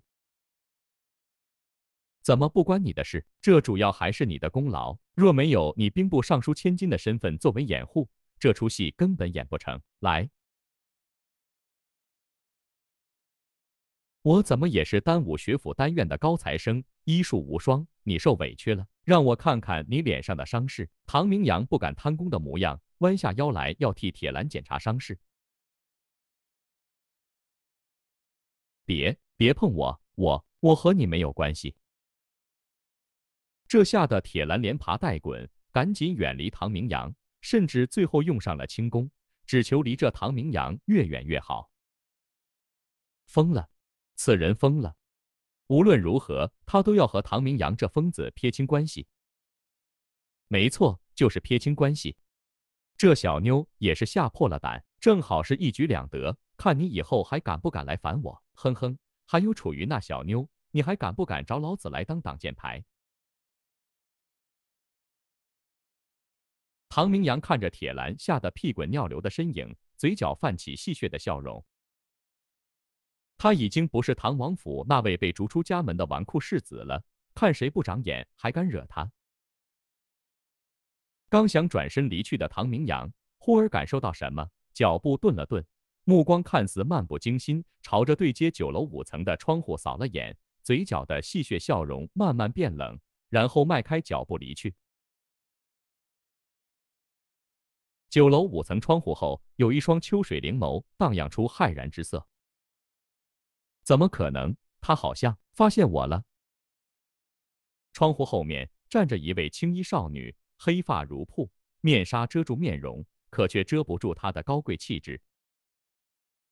在少女的身后，恭恭敬敬地站着四位老妪，皆是鹤发童颜，气势惊人，修为都是先天二重化元境。若是放到楚国武林中去，绝对是顶尖高手。春婆婆，你去将铁兰带到本宫这里来。她这是怎么了？本宫让她去通知唐明阳，做好让本宫利用的棋子本分。她怎么就和唐明阳有染了，而且还打不还手，骂不还口？是公主，夏婆婆，你去给本宫盯紧这唐明阳，免得他被青狼帮的人给宰了，坏了本宫的好事。顺便给本宫查清楚，此子纨绔废物，好色无能，怎么忽然就装得出那么冰冷强大的气场？是公主，邱婆婆，你派人盯紧青狼帮。这青灵风乃是楚国武林风雨雷电四大公子之首，如今当街被纨绔废物的唐明阳所镇住。羞辱滚出南城门，此时纸包不住火，不多时日就会真相大白，天下武林轰动。你且留意武林动向。是公主，东婆婆。你负责派人造谣唐明阳和唐王府的关系。北疆战事紧张，南域唐王蠢蠢欲动。半年前，父皇让我设计悔婚，敲山震虎。没想到唐王不仅果断，还很能忍，直接将唐明阳这废物逐出家族。这次唐明阳让青灵峰当街下跪，滚出南城门。这若是利用的好。青狼帮就是对付唐王府最好的刀刃。另外半个月后，大宛国皇子来楚。一年前，本宫曾和他有过一面之缘。此人已经被本宫迷得神魂颠倒，稍加利用就能让其转而对付唐王府。公主。这房中的少女正是铁兰口最世界上最可怜之人的楚玉公主。此刻她冷静果断下令的神情，哪里有丝毫可怜之处？分明是心机深沉、精于算计，正在下一盘对付唐王府的大棋局。不过我的心怎么隐隐不安起来？似乎有什么超出我的意料，我又忽略了什么？楚瑜揉了揉光洁如玉的额头，眉宇微蹙，面纱遮挡着她绝世容颜，可没人蹙眉，依旧让人心碎。唐明阳漫无目的游荡在大街上，他知道背后至少有三四股势力，派人悄悄跟踪着他。不过他早有甩掉这些人的办法。老板，这盒金针我要了。他在街边的小摊购买了一盒金针。又在服装店购买几套衣服，然后随便找了家大客栈住了下去。关上门，他坐在梳妆台前，对着镜子将金针扎入脸部的几处穴道上。一刻钟左右，他感受到脸部的肌肤有些发麻，拔出金针，然后用双手在脸部的穴道上轻轻的揉了揉。诡异的事情发生了，他那张清秀不显轮廓的脸庞，此刻随着脸部肌肉的移位和固定，变得棱角分明起来。修为还是太低了，这样靠激发穴道来改变肉身肌理，只能固定六个时辰。不过摆脱那些凡人的尾巴，绰绰有余了。换上新的衣服，改变发型，唐明阳看着镜子里全新的自己，帅气阳刚，勉强算满意吧。这只是些改变面部肌理的小伎俩，骗那些玄元六境以下的武者，应该没有什么问题。不过，真正的强者辨认一个人，可不是根据这个人的外表，而是根据这个人的气息。在走出酒楼时，唐明阳已经发现背后没有尾巴了。不过，为了保险起见，他还是进行第二次变装和易容。该去找个安静的地方，好好恢复修为了。哼，等老子将修为恢复一二，看谁还敢烦老子！躲躲藏藏，唐明阳可不喜欢。小隐隐于野，中隐隐于市，大隐隐于朝。天武大陆天地灵气稀薄的令人发指的地步，山野和城市隐修都差不多。况且他修行还要靠炼丹提升，隐于城市还比较方便购买药材。他就往禹城南区，往居民区比较密集的地方走，想要找一处院落作为隐居之所。至于铁兰所说的公主吩咐他的购置府宅，半个月后要来和他同居什么的，他早就抛诸于九霄云外了。要想玩，可以等老子隐修一段时间，将修为提升先，到时候看谁玩死谁。咦，这是天地灵气的波动。某条小巷，唐明阳忽而顿足，明亮的眼睛带着几分激动的看向右边四米多高的青墙。若是有天地灵气的辅助，他的修为可以加快速度恢复。这就是我的隐居之所了。发现天地灵气的概率，就好比走在路上捡到银子的概率差不多。唐明阳决心隐居在里面，不管里面的主人是谁，他自然有很多种方法让对方求着他住在里面。最常用的手段就是先给屋主偷偷下毒。然后假装上门救治，让屋主对自己感激涕零，奉为上宾了。第八章金鸿药堂，唐明阳沿着高墙外围走去，先看看是哪户人家。高墙延伸的尽头，出来是一条热闹的小街，围住的地方则是一间药堂。金鸿药堂，破旧的牌匾，泼粪的石狮子，冷清的铺面。唐明阳若有所思，这处地方显然不久前才被人砸了店门一样。大门是虚掩着的。唐明阳推门而入，大院的东西被人砸得满地狼藉，晾晒的药材撒得满地都是。穿过大院就是药堂的大厅，平时是给病人看病的地方。此刻门口有几个后天三重通脉镜的武士把守着，显然不是金鸿药堂的人。他们见唐明阳衣着普通，修为低微，却神色如常的走进来，只是淡淡扫了眼，估计还以为唐明阳是药堂的伙计，也没有阻拦。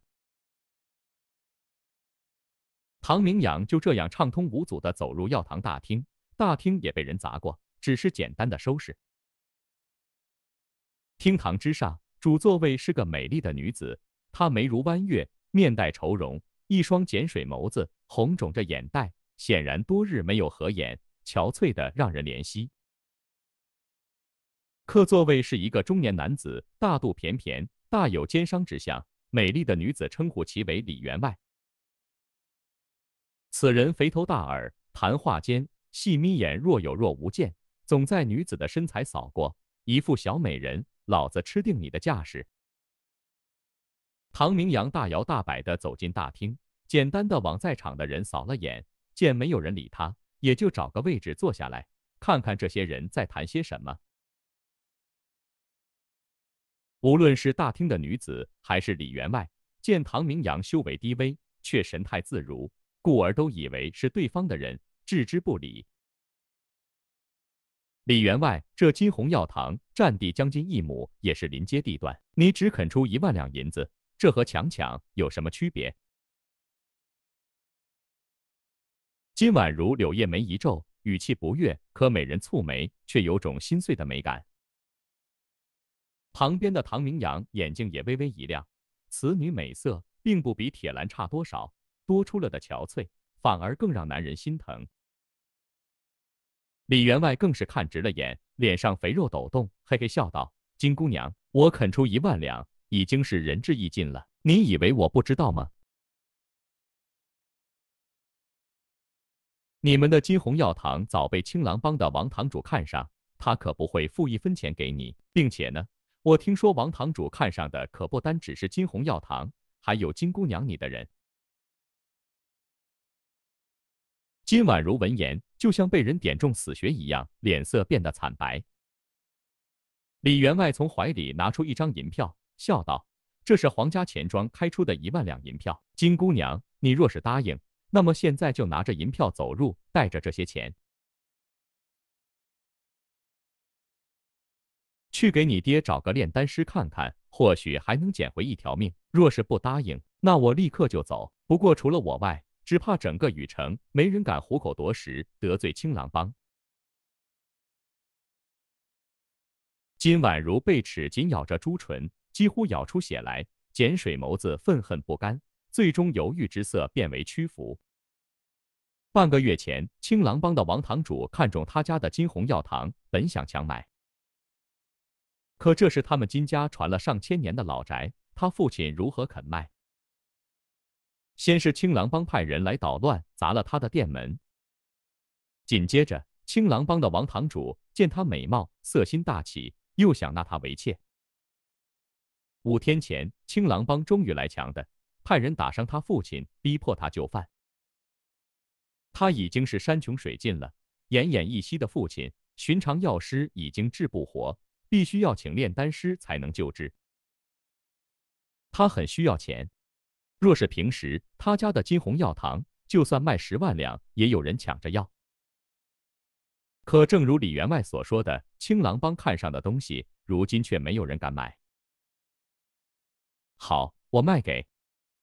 嗨嗨，金姑娘是吧？我愿意出两万两银子。呃，你是？我是谁并不重要，重要是你很缺钱，我出的钱比他多。唐明阳开口后，立刻成为众人的焦点。金婉如诧异的看着唐明阳，那双碱水眸子仿佛会说话般。小子哪里冒出来的？李员外涨红着脸，他刚刚说金红药堂没人买，这小子立刻提高一倍价格，这不是打他脸吗？他细眯眼，很是阴沉。见唐明阳衣着普通，修为低微，目光渐渐不善起来。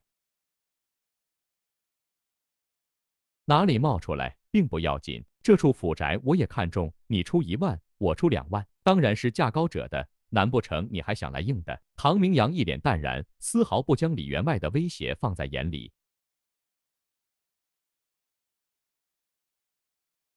哦，我倒要看看你如何拿出两万白银。李员外一脸冷笑，忽而抬起手指住身后想要动手的护卫。他看唐明阳这身行头都不超过二两银子，又怎么拿得出两万两银子？只怕这人说不定就是金婉如请来的托吧。你你真的出两万两白银买下金鸿药堂？金婉如见唐明阳穿着普通修为低微，碱水眸子也充满了怀疑。唐明阳右手翻转，仿佛变戏法般，铁兰给他的那张金卡已经从储物戒指里拿出。没等他说话，金婉如倒是失声叫了起来：“这是储物戒指，在楚国能拥有储物戒指的人非富即贵。两万两白银对于很多人来说是巨款，可对于拥有储物戒指的人来说，确实不算什么。”李员外贪婪的看了眼唐明阳右手的储物戒指，就算最差的储物戒指都要几十万两白银，而且还是有价无市。在下李深，乔谷李家之人，有眼不识泰山，不知有幸得知小兄弟尊姓大名。李员外隐藏他的贪婪和敌意，自报家门。能佩戴得起储物戒指的人，身份非凡。他先旁敲侧击，打听清楚对方的来历再说。你当然没有这个荣幸。你，李员外大怒。乔古李家乃是楚国八大世家之一，这个少年竟然好不给他面子。可唐明阳越嚣张，李员外越不敢轻举妄动。他只是乔古李家的旁支子弟，这次替李家某位大人物办事，虎口夺食，抢夺金红药堂，只因为金红药堂里隐藏着一个大宝藏。金姑娘，跟我去皇家钱庄一趟，我取钱给你。这这位公子有件事我要告诉你，这这间金红药堂，青狼帮的人看上，想要强抢。若非如此，我也不会如此贱卖。所以你你若是买下，可要想好后果。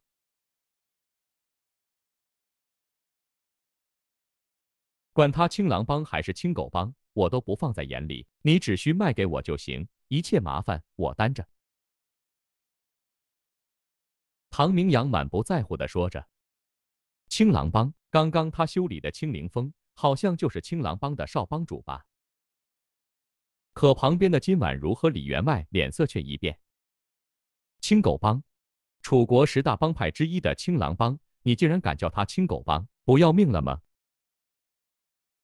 金婉如只觉得手心发汗。不过这位少年如此自大，他已经提醒过了，也不想多管闲事。卖房子当然价高者得，他说道。李员外非常抱歉。慢着，金姑娘，老实和你说吧，我是代表乔谷商会高层来买金红药堂的。这样吧，我也和这位公子一样，出两万两白银，并且我们乔谷商会愿意出面帮你联系丹武学府的刘雪飞大师，为你爹诊断病情，如何？李员外见金婉如要将金红药堂卖给唐明阳，有些急了。他摸不透唐明阳的身份，可李家那位大人物对金红药堂的势在必得，吩咐他无论如何也要拿下来。至少在名义上，金红药堂要属于他们乔谷商会的。至于青狼帮要纠缠，以后大家再来谈判。刚开始，他只想用最小的代价逼迫金婉如就范。没想到半路杀出个唐明阳来。对于乔谷商会来说，银子倒是小事情。他相信金婉如是拒绝不了后面一个条件的。果然，金婉如声音激动起来：“李员外，乔谷商会要帮我爹联系刘雪飞大师，这话当当真？炼丹师神秘高贵，没有关系和机缘，即便再有钱，也很难请得动。”当然，李员外答应下来，不过心里却冷笑：乔谷商会是能帮你联系刘雪飞大师，不过也要你出得起价格才行。寻常银子，炼丹师根本不在乎，他们在乎的是天地稀有的天才地宝。这位公子非常的抱歉，我爹奄奄一息，我需要找炼丹师为我爹治病。金婉如对于唐明阳非常的感激，若非唐明阳的出现。李员外也不会增加后面的条件。正好我就是炼丹师，你何必舍近求远？况且刘雪飞那妞炼丹水平也就那样，将房子卖给我，我免费为你爹治病。唐明阳对于眼前的美女还是很有好感的，人长得养眼，心肠还算不错。只是他的话语刚落。立刻引来李员外的嘲笑，哈哈，笑死人了！你说你是炼丹师，当真是欺我们是白痴吗，小子？刘雪飞大师的爷爷是我们楚国三大四星炼丹师之一，可即便他出身炼丹世家，又天赋异禀，也需要二十五岁才成为一星炼丹师。看你毛还没长齐，也敢信口雌黄？金婉如一听，也觉得唐明阳的话不可信。世上哪有这么年轻的炼丹师？唐明阳笑道：“金姑娘，其实我是不是炼丹师都不要紧，问题是能不能救好你爹的病？何不让我试一试？”这那就有劳公子了。李员外，还请你在这里稍等一会儿，我带这位公子去看看我爹的病情。金婉如犹豫一样答应下来，纯粹是不想服了唐明阳的好意，心里并不抱任何的希望。哈哈，我也想见识这位公子非凡的医术。李员外不客气的嘲讽道。第九章龙血槐树。唐明阳跟金婉如身后，佳人纤细的背影在轻轻的步伐下，却走出婀娜的风情。走出药堂大厅，穿过回廊，里面还有一层院落。这里并未遭人打砸，四周栽种些治疗常见疾病的草药。走进来时，清香扑鼻。左边还有个水井，丝丝的天地灵气就是从水井里冒出来的。看来水井之下应该有个小小的灵眼。唐明阳瞥了眼，算是找到天地灵气的波动根源。他见李员外看着这口井，露出贪婪之色，想来乔谷商会或青狼帮都是冲着这小小的灵眼来的吧。不过敢于和他抢东西，他不介意给这些人点颜色看看。井边还有大片空地，却不合常理的闲置下来。没有栽种草药，反而栽种一株看似无用的金叶槐树。槐树枝繁叶茂，金色的花朵在微风里散发出淡淡的幽香，让人闻之神清气爽。不对，唐明阳嗅着槐树花叶气味，眸子泛起一丝疑惑。他伸手接住一片被风吹落的槐树叶子，叶呈金色，唯有叶脉金中带红，透着血色。他眸子亮了起来。慢慢闪动着激动之色。这哪里是金叶槐树？这分明是一株龙血槐树。龙血槐树外表和普通的槐树很像，实则是炼制高级灵丹常用之物，即便在乾坤大世界里也非常珍贵。它精液里蕴含一丝龙之精血，乃是壮体的神物。若是修士融入肉体，可以使得肉身具备一丝龙血之力。唐明阳就懂得炼制一种龙血壮体丹，哈哈，真是走运。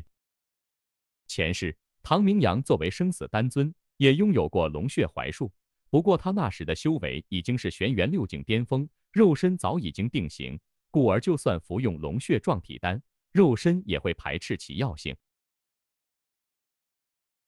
如今这具身体只有壮体期，可塑性非常强，正是服用龙血壮体丹的最佳时机。这里的地盘是我的了，谁敢跟老子抢，就弄死谁！唐明阳激动之余，眸子更是寒芒闪烁。旁边的李员外猛然觉得一寒，浑身鸡皮疙瘩都起来了，四周张望，却找不到让他发寒的原因。我爹就在里面。金婉如轻轻推开院落的正房，立刻有一股刺鼻的药味传出来。卧室的床上。躺着一位面色发灰的中年男子，昏迷不醒，只有微弱的呼吸。金婉如走到床边，看着奄奄一息的父亲，眼圈又开始红了，碱水眸子看向旁边的唐明阳：“这位公子，施展你的医术吧。”李员外继续嘲讽道。唐明阳也懒得理会这李员外，他上前坐在床边，先帮金婉如父亲切脉。然后检查了其身上几个穴位，最后打开其胸口衣襟一看，胸口留有个猩红的掌印。他用金针刺进掌印里，针尖带出的一丝血液泛着淡淡的腥臭之味。公子，我爹的伤势怎么样？金婉如见唐明阳煞有其事的望问诊切，又见其皱眉思索，不由得紧张起来。让我思考一下。唐明阳起身，踱着步子。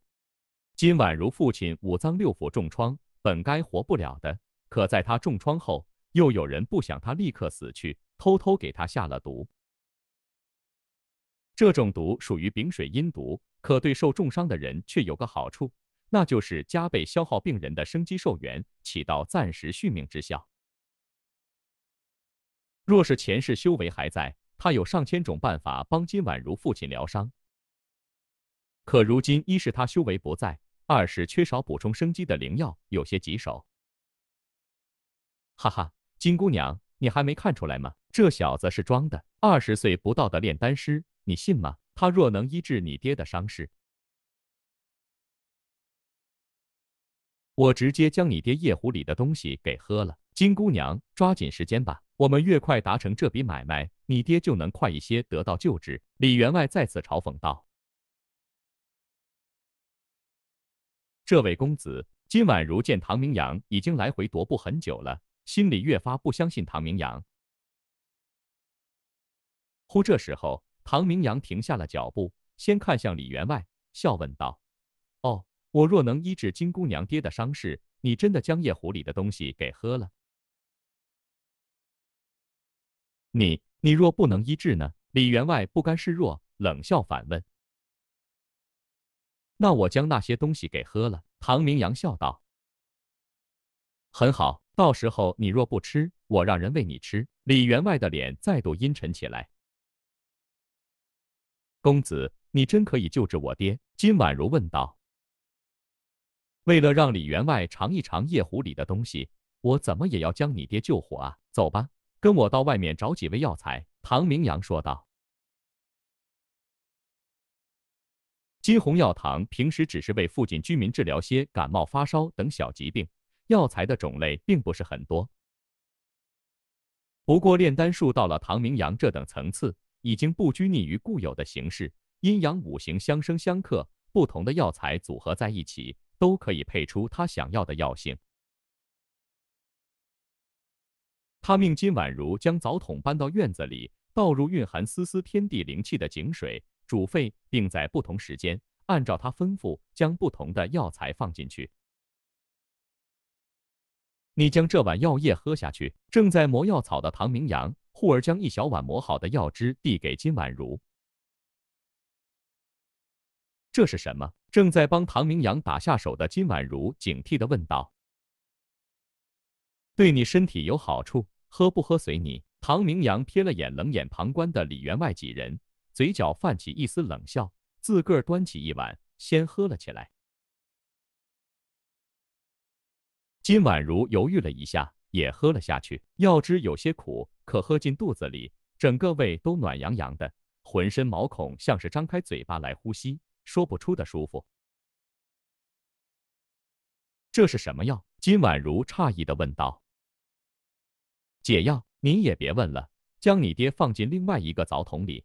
我开始为他疗伤了。你，你真是炼丹师？金婉如忽而问道。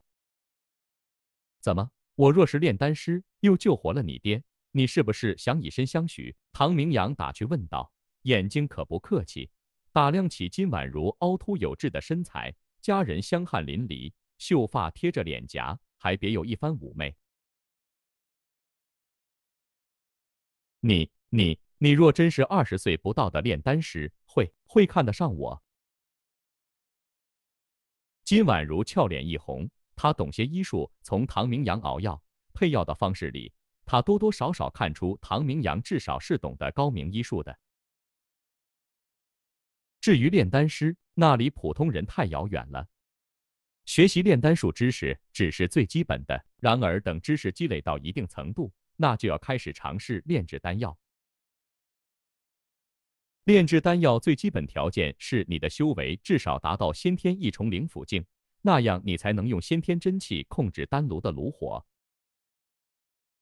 最后你还需要有钱，因为任何炼丹师都是从无数次炼丹失败走过来的，而每一炉失败的丹药里面那些动辄几千上万两银子的珍贵药材就作废了。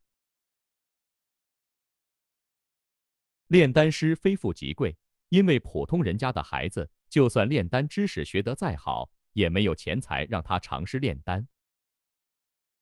当然看不上，不过嘛，你的姿色，做我丫鬟，帮我暖暖床什么的，还是可以的。唐明阳笑道：“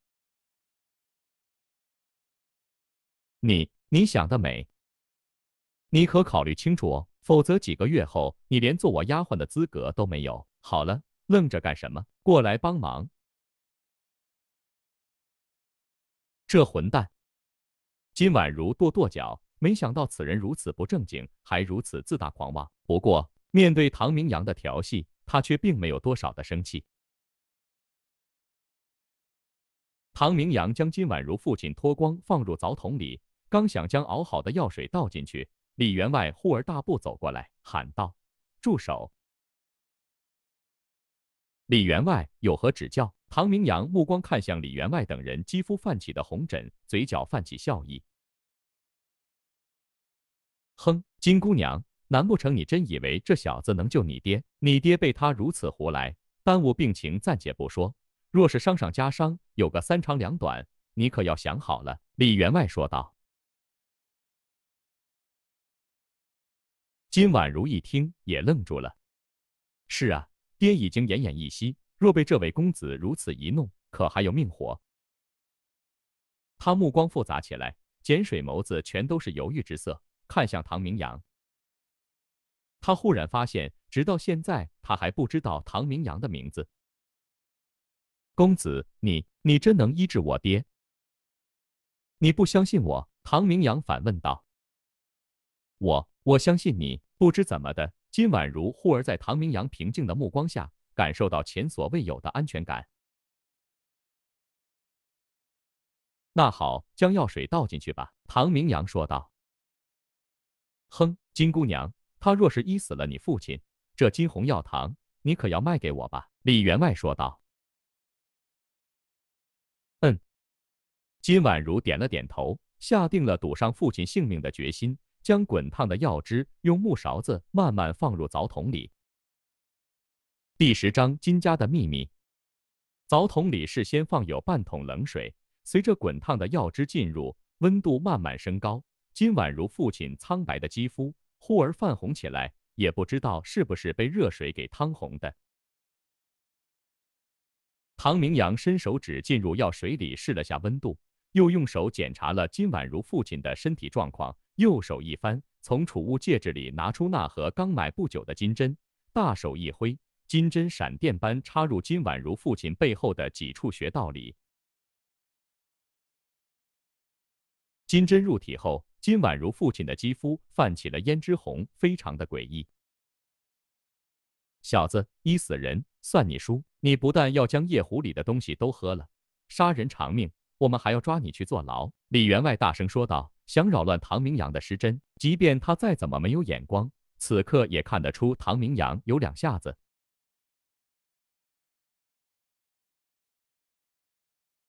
放心，夜壶的东西没有倒，会留给你的。唐明阳冷笑，从储物戒指里拿出一柄小刀，果断的往金婉如父亲胸口泛紫色的掌印刺去。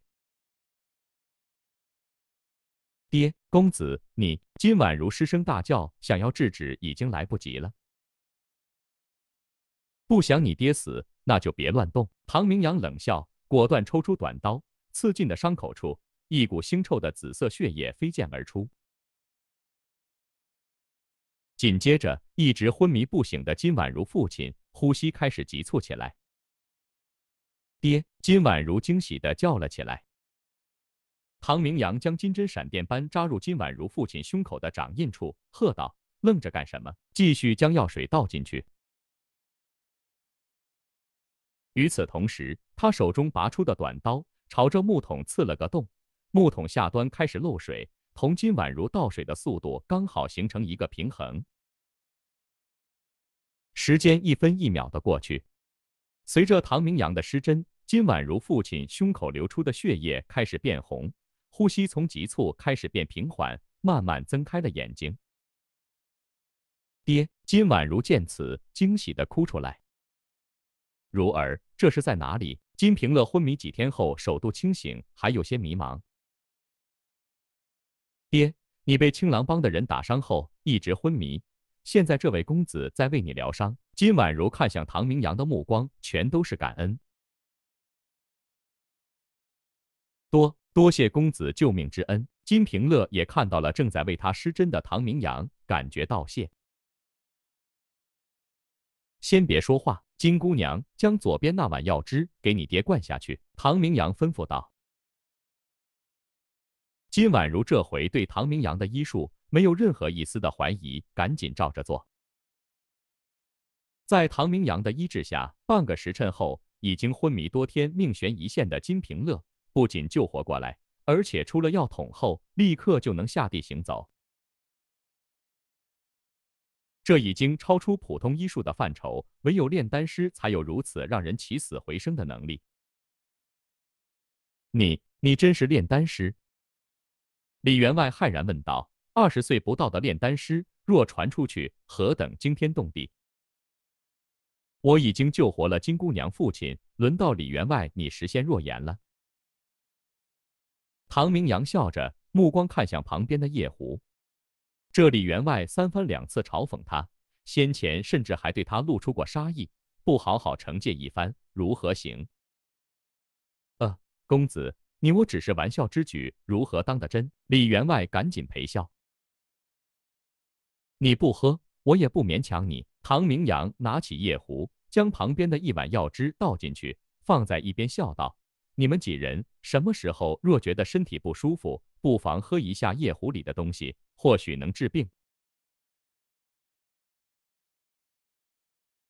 你李员外忽而脸色大变。炼丹师之所以让人尊敬，更因为他们又神秘莫测的下毒本事。他忽然发现皮肤起不知不觉红疹越来越多，越挠越痒。你你对我们下了药？哪有啊，李员外，我哪里敢对你下药？唐明阳嘲讽道。小子，你找死！旁边两个护卫大怒，他们乃是武林之人，行事冲动粗野，管你是不是炼丹师，敢对他们下药，拿下逼问解药再说。然而他们出手瞬间，运转真气，忽而全身抽筋起来，倒在地上，口吐白沫，满地哀嚎，身体的红疹越来越大，肿胀起来。如此诡异一幕，吓住了所有人。这位公子，我们是巧古商会的人，你你真敢要我们的命？李员外浑身肥肉颤抖，不停挠痒，害怕起来。我不是说了吗？你们身体若是不舒服，可以喝一喝夜壶里的东西。记住，时间不多了。”唐明阳说道。“你你们快喂他们喝！”李员外没有办法，又惊又怒。手下几人捏开两个倒地护卫的嘴巴，将夜壶里的东西倒进去。果然，几分钟后，这两个人的身体状况慢慢恢复过来。不过，他们恢复过来后的第一件事，那就是挖喉咙呕吐起来。记住，夜壶里的东西可不多，你们七八个人，谁若是感觉不舒服，省着点喝。好了，不送。”唐明阳说道。你这位公子可否留下尊姓大名？李员外购买金鸿药堂的事情办砸，又身中奇毒，只好退而求其次，打探好唐明阳的信息，回去交差。你没有资格知道，半刻钟后你们再不滚，只怕连滚的机会都没有了。”唐明阳说道。“你很好，我们走。”李员外恨痒痒的，临走时不忘带走夜壶。他们只能回去求助乔谷商会命他们办事的那位大人物，对方是尊贵的炼丹师，看看他能不能解他们身上的毒了。若是不能，那只有想到最坏的结果，李员外就想作呕。金平乐在女儿的搀扶下，已经换了一身干净衣服出来。院子里。唐明阳还在熬药，药桶里的药散发出阵阵清香，让人闻之神清气爽。多谢公子救命之恩，还未请教公子尊姓大名呢？金平乐恭敬地问道。一位二十岁不到的炼丹师，他知道这意味着什么。杨明堂，你也不必谢，我救你是有条件的。唐明阳报了个假名，只将他的名字倒过来念。公子看得上金鸿药堂，只怕为了丹泉而来吧？”金平乐说道。丹泉，唐明阳明白金平乐是指那口蕴含天地灵气的井，他不置可否。原本还是，现在发现龙血槐树后，这口井的价值就可以忽略不计了。杨公子别误会，我们并没有反悔的意思。匹夫无罪，怀璧其罪的教训，我们妇女已经领教到了。从现在开始，金红药堂的任何东西。都属于杨公子的了。我之所以多此一问，是想告诉杨公子一个关于我们金家的秘密。金平乐说出这番话时，像是下了很大的决心。什么秘密？唐明阳其实并不感兴趣。他前世乃是生死丹尊，纵横乾坤大世界，什么样的事情没经历过？对于这些世俗凡人的秘密，再宝贵，能贵到哪里去？关于那棵金叶槐树，其实它并不叫金叶槐树，而是叫做龙血槐树。哦，唐明阳眸子深处金光一闪而过，感兴趣起来。龙血槐树是炼制高级灵丹的常用灵药，只有七八星级别的炼丹师才可能知道。金平乐连炼丹师都不是，何如知道？忽然间，他发现有趣的事情。丹泉如此宝贵，而却将龙血槐树栽种在旁边。若非栽种之人知道这株树的价值，又怎么会让它在井边占据如此大的一块地？我们金家实则源自一个古老的家族，而这株龙血槐树则是我们家族的守护树。上千年前，我们家族遭受巨变，祖上迁移到此地，发现有这么一口丹泉，可以栽种龙血槐树，故才定居于此。金平乐娓娓述说着他家族兴衰的往事，旁边的金婉如显然也是第一次听闻这些，吃惊的张大了嘴巴。大概故事是这样子：几千年前，金家是天武大陆的超级大家族，家族靠着龙血战诀称霸天下。然而，龙血战诀有个弊端，那必须要服用龙血丹才能修炼。千年前，家族巨变，核心成员几乎死光。金平乐祖上一脉只是家族的旁支，这才幸存下来。不过，幸存的人里，并没有炼丹师。他们祖上又怕龙血丹的秘密暴露，引来杀身之祸，故而也没有胆子敢请其他炼丹师帮忙炼制龙血丹。慢慢的，家族之人修炼不了龙血战诀，后辈子弟越来越弱。又经过几次国家战乱、朝代更迭，金家就衰败成为只有金平乐父女两人。只要杨公子能帮我们父女炼制一炉龙血丹，我愿将家族的龙血战诀传授给杨公子作为答谢。金平乐忽而跪在地上哀求，这次死里逃生，他看开很多东西，与其抱着家族秘密和宝藏死去。还不如找人合作，互利共赢。爹，金婉如见父亲跪下来，有些不知所措。如儿，你也跪下来求恩公。金平乐喝道：“杨公子，求求你！”金婉如也跪下来，碱水眸子可怜兮兮，分外让人怜惜。你们起来吧，将丹方拿出来给我看看。”唐明阳说道。他倒是想看看这龙血丹和他想要炼制的龙血壮体丹到底有什么不同。恩公，这是丹方。金平乐早有准备，从怀里拿出一张金箔纸，上面用特殊药水写着密密麻麻的药材名字和炼制之法。这是一张五品丹方。唐明阳笑道。同时推算起这张丹方各种药材组合后的药性，最后他发现确实比他所得到的龙血壮体丹来得好。五品金平乐闻言，身子一颤，一股无力感自心中升起。五品丹方需要五星炼丹师才能炼制，而楚国最厉害的炼丹师只是四星。眼前这个不足二十岁的少年，他能成为一星炼丹师？已是惊世骇俗，不可能炼制五品丹药吧？同时，他也明白他们金家为什么衰落下去了。或许祖上也动过找过炼丹师帮忙炼制的念头，只是五品炼丹师实在太稀有了。我可以帮你炼制，唐明阳说道。什么？金平乐以为他听错了，骇然看向唐明阳。